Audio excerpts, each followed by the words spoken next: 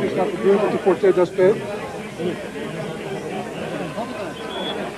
Jij gaat er ook Het was een... Uh, ken je?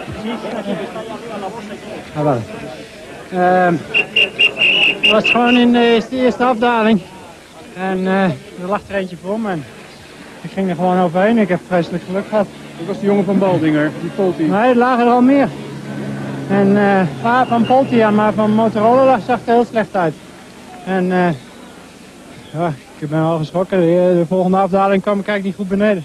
Heb je gehoord van het overlijden van Fabio Casatelli? Godverdomme.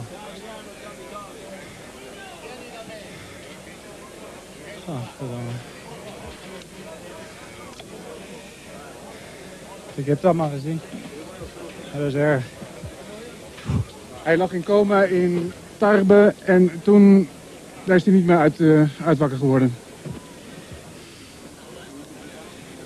Ik ken die jongen niet goed, maar ik vind het geestig.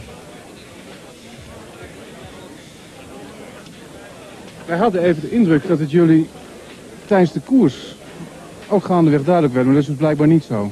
Je vertelt het me nou net. En in de Tourmalijs is nog een van ons gevallen vlak voor me.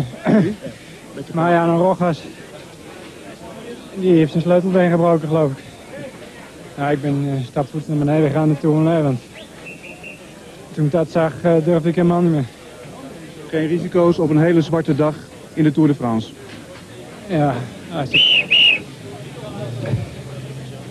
ik... Ik weet niet, ik ben er kapot gaan. 6 kilometer para Dankjewel. Ponte la camiseta.